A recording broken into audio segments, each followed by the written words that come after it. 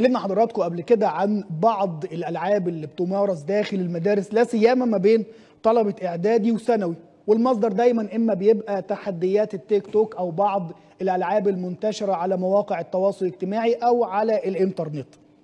اليومين اللي فاتوا كلام كتير جدا على على الجروبات الخاصة بأولياء الأمور وكلام كتير جدا أيضا ما بين المواطنين في البلد عن لعبة سحرية بدأت تنتشر ما بين الطلبة. البداية كان بهذا المنشور اللي نشرته واحدة من أولياء الأمور اسمها شيماء مشرف واللي قالت هنقول إيه لعيالنا للتحذير من الألعاب السحرية.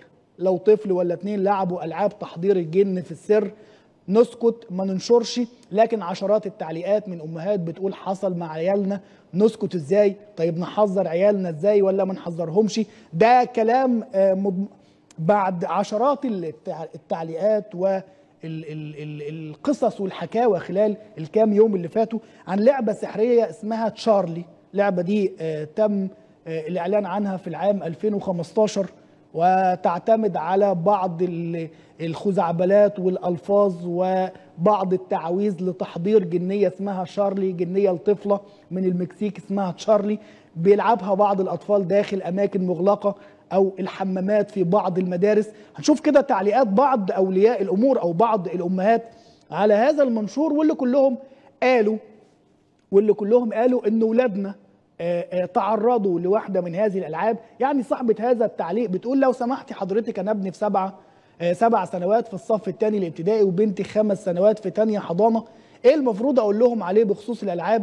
الحمد لله ما نعرفهاش بس معاهم زمايل في المدرسة يكون عندهم إخوات أكبر. التعليق اللي بعده أيضا بيتكلم في نفس الموضوع.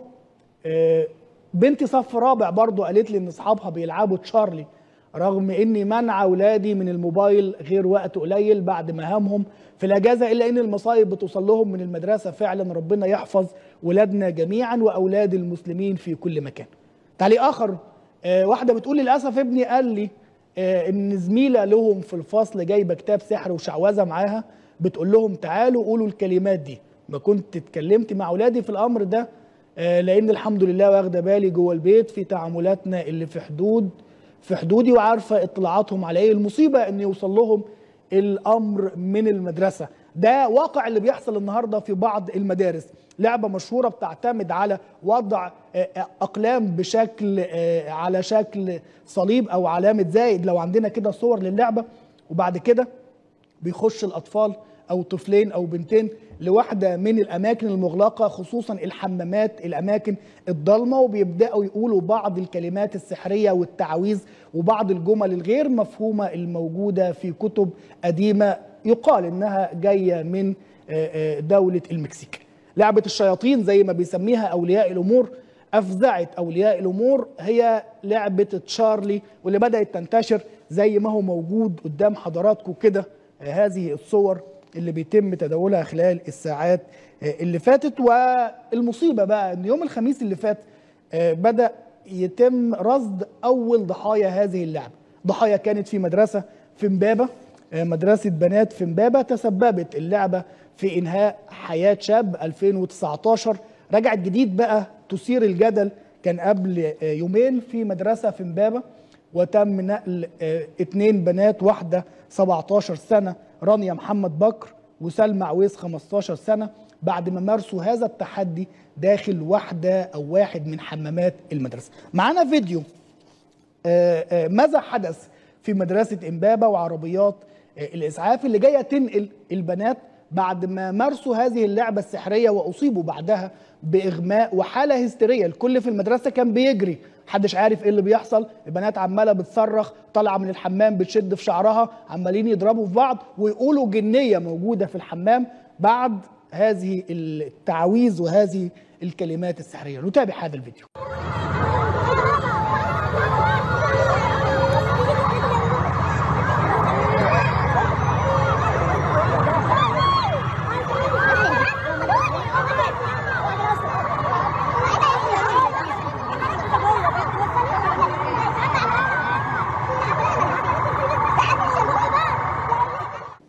حسب مصادر من وزارة الصحة إن البنتين الحمد لله حالتهم مستقر. لكن لما تبص كده على هذه اللعبة واللي تم البحث عنها خلال فقط ال 48 ساعة أكتر من مليون و500 ألف مره عملية بحث فقط داخل جمهورية مصر العربية. معانا فيديو معانا صور لو لو نحطها كده. أيوه دي طريقة لعب هذه اللعبة واللي تتلعب زي ما حضراتكم شايفين كده في الأماكن المغلقة بعيدا عن الأعين في مكان يعني مخيف. ودي صورة الجنية حسب ما تخيلها بعض متداولي مواقع التواصل الاجتماعي أو بعض الناس على مواقع التواصل الاجتماعي. أعتقد محتاجين نسأل عن مدى صدق هذا الكلام وهل فعلا يستطيع الطفل اللي عمره 15 أو 16 سنة باستخدام بعض الجمل والكلمات والتعاويذ السحرية استحضار الجن؟ ده سؤال اللي هنعرضه على ضيفي عبر سكايب من إسطنبول الدكتور أسامة عيد الداعية الإسلامي. دكتور أسامة أهلا بيك. أهلا وسهلا بحضرتك الساده المشاهدين. السلام عليكم. وعليكم السلام. يعني تابعنا خلال الساعات اللي فاتت الجدل اللي موجود تقريبا النهارده في كل بيت في البلد. لعبة سحرية موجودة في المدارس ألفاظ سحرية تعاويذ جمل غير مفهومة وبالنهاية زي ما شفنا في مدرسة إمبابة بنتين أصيبوا بإعياء وصراخ ونقلوا ونقلوا بعدها للمستشفى. هل فعلا بعض الجمل اللي بتتقال تستحضر الجن؟ وهل فعلا في روح شريرة ممكن تحضر في المدرسة أو في أي مكان حسب ما بيقال؟ بسم الله والحمد لله والصلاة والسلام على رسول الله صلى الله عليه وعلى آله وصحبه وسلم. وأشهد أن لا إله إلا الله وحده لا شريك له. وأشهد أن محمدا عبده ورسوله وصفيه من خلقه وحبيبه. اللهم هيئ لأمتنا أمر رشد يعز فيه أهل طاعتك ويؤمر فيه بالمعروف عن المنكر. اللهم آمين. بعض الحقائق التي يجب أن نبينها أولا حتى يكون السيد المشاهد على اطلاع بأصول هذه الأمور وحقائقها كما أوردها القرآن والسنة. ثم نؤسس عليه الإجابة على سؤال حضرتك. أمر أن الجن موجود أمر ثابت وقاطع بالقرآن والسنة تحدثت عنه آيات كثيرة وأحاديث كثر. وذكره النبي صلى الله عليه وسلم مرارا وتكرارا حتى سميت سورة كاملة من سور القرآن بسورة الجن.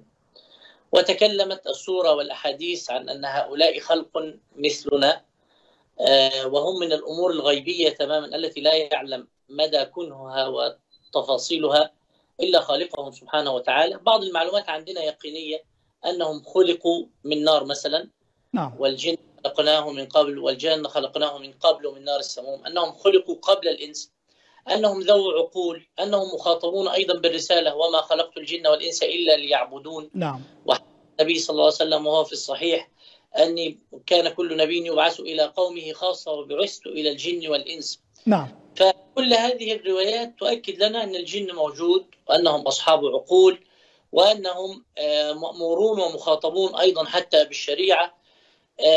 وإذ صرفنا وأنهم صرفوا إلى النبي صلى الله عليه وسلم طيب. وإذ صرفنا إليك نفرا من الجن يستمعون القرآن فلما حضروه قالوا أنصتوا. حتى أن النبي صلى الله عليه وسلم أثنى عليهم في سماعهم وجوابهم لسورة الرحمن. نعم. سورة الرحمن ما نزلت تلاها رسول الله صلى عليه الله عليه الصلاة وسلم. والسلام. طيب يعني دكتور عشان بس ما نبعدش عن ال ال ال ال ال السؤال ووقتنا ضيق فبنعتذر لحضرتك. لو نرجع لصلب الموضوع يعني. الأسئلة دي طبعا مهمة جدا. نعم. لكن فكرة أن وجودها هذا الجن أنه يستحضر من قبل أطفال هذه فكرة ساذجة وفكرة آه، خرافية. نعم. وأنه آه، بتعويذة معينة في أطفال يحضروا جن. طبعا كل المشهد اللي حضرتك شفته في في المدرسة ده آه، ممكن أن نسميه لعب أطفال. نعم. ان هم أغلقوا على أنفسهم وبعدين حد صرخ الجنية جت وطلع الأولاد يجروا. وفي الآخر إحنا ما شفناش حاجة. ف... فلازم نسقطه على هذا إنه طيب. ده لاعب أطفال. طيب بما تفسر يا دكتور آه، حالة الهستيريا اللي تعرضت لها الطالبات ودول سنهم 17 و15 سنة مش صغيرين وبعد كده أصيبوا بانهيار عصبي ونقلوا لل- لل- للمستشفى. بما تفسر هذه الحالة يعني. فيصيروا بخيالات. يعني هؤلاء آه، إنهم عاشوا حالة الإنسان لما بي- بيجعل لنفسه حالة معينة حالة نفسية معينة يغلق النور ويستحضر مثلا يشاهد فيلم رعب وكذا إذا إذا إذا قعد سرح مع خياله بيفزع. فهم دول لما عملوا استحضار معين وكذا آه، أصيبوا حطوا نفسهم في حالة نفسية معينة وصلوا لهذا والطبع النساء بصفة عامة آه، عاطفي آه، يميل إلى الخوف فممكن البنات من هذا الجانب هذا نفسره. لكن اللي عايز أنا أتطرق له لو حضرتك تسمح لي هو جانب هام جدا جدا وهو الغياب الهائل والفراغ اللامحدود اللي وصلت إليه مجتمعاتنا في المدارس والبيوت والمؤسسات غيرها. نعم. لو لو عندك وقت نتطرق اتفضل اتفضل يا دكتور. في عجالة اتفضل. نعم. اللي حصل ده هو طبعا الغزو الفكري والثقافي اللي مستمر على أمتنا ولسه كل شوية بتطلع لنا لعبة. نعم. والعاب معينة بتيجي من من بره من التطبيقات المعينة. لكن المشكلة الكبيرة التطبيقات دي إزاي بتوصل لأولادنا؟ وازاي بتأثر فيهم وازاي بيدخلوا في التحديات دي. هو ده اللي لازم يتواجه. وده اللي لازم تقوم الأمة كلها والمجتمع كله من البيت الأسرة الأب والأم المدرسة والمشرفين والمساجد والدولة كلها لازم تستنفر لحجب مثلا هذه المواقع.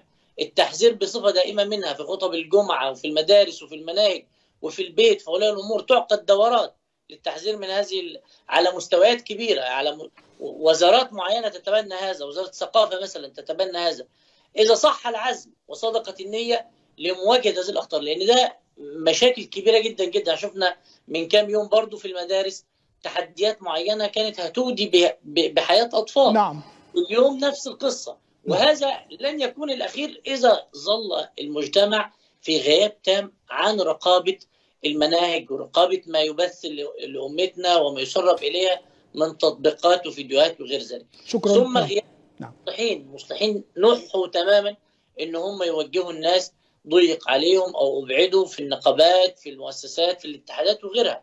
فده اللي المفروض المجتمع يحشي طاقاته كلها من أجل الحفاظ على أبنائنا وجيلنا القادم في المدارس والمؤسسات والجامعات وغيرها. شكرا دكتور أسامة عيد الداعية الإسلامي على هذه الإضافة، اذا مشاهدينا حسب كلام الدكتور أسامة عيد هذا الموضوع لا يعدو مجرد تأثير نفسي وشعور متبادل ما بين الطلاب بحالة استحضار للجن لكن الجن لا يتم استحضاره باستخدام تعويذة أو مجرد كلمات سحرية حسب ما يتم تداوله الآن على مواقع التواصل الاجتماعي وإنما الموضوع مجرد تهيئة نفسية بيعيشها الأطفال.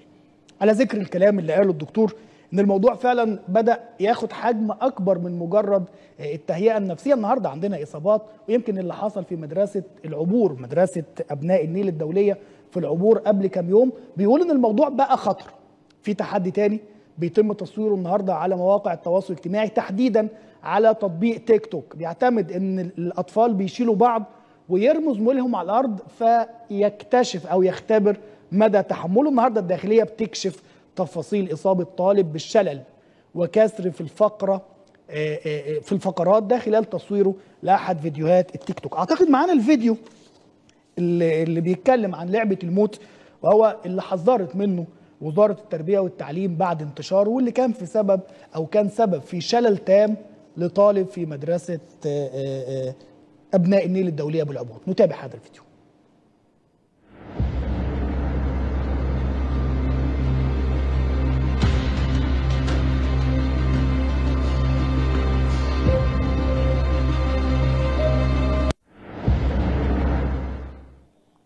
يعني حاجة في منتهى البشاعة إن الطفل يتشال بالشكل ده وبعد كده يترمي على الأرض بهدف تصوير أحد الفيديوهات. الطفل اللي قدام حضراتكم أحمد كان ضحية هذا الفيديو النهارده نايم في واحدة من مستشفيات القاهرة مشلول غير قادر على الحركة بسبب هذه التحديات. عندنا تحرك برلماني لحظر هذه الألعاب وقالوا تنتهي بالشلل التام. برلمانية وعضو وعضو مجلس نواب بيتقدموا بطلب إحاطة. لبعض الجهات المعنية في الدولة لا سيما مجلس النواب لحظر هذه الألعاب. أيضا الموضوع تطور خلال الجلسة الصباحية اليوم في مجلس النواب ومطالبات بحظر تيك توك. حسب ما جاء في هذا البيان يهدد حياة الطلاب برلمانية تطالب بإغلاق تطبيق تيك توك في مصر. قالت إن الموضوع خرج عن السيطرة وأصبح خطر على روح ولادنا. أما وزارة التعليم فبيان رسمي للمتحدث باسم الوزارة شادي زلطة. صباح اليوم أكد إن الوزارة بتتابع عن كثب ما حدث في مدرسة امبابة وعاملة توجيهات مهمة للمديريات برأيي في هذه الحادثة تحديدا وزارة التعليم بريئة. التوجيهات لازم تبدأ من البيت لازم من النهارده توجه ابنك. ما ينفعش يتفرج على الحاجات دي ولو اتفرج عليها ما ينفعش يقلدها. أنا فوجئت إن خلال أقل من 48 ساعة مليون و500 ألف عملية بحث عن هذه اللعبة. رغم تحذيرات أولياء الأمور تحذيرات وزارة التعليم النهارده مجلس النواب بيحذر. عايزين الأساتذة والمدرسين يتكلموا الطلبة عن خطورة هذا الموضوع. أتمنى فعلا يكون عندنا أداة حكومية للسيطرة على مثل هذه الألعاب إن الموضوع ربما يدخل في مشاكل. حصل عملية وفاة في العام 2019 بسبب ذات اللعبة. النهارده الأطفال في حالة رعب من انتشار هذه الألعاب.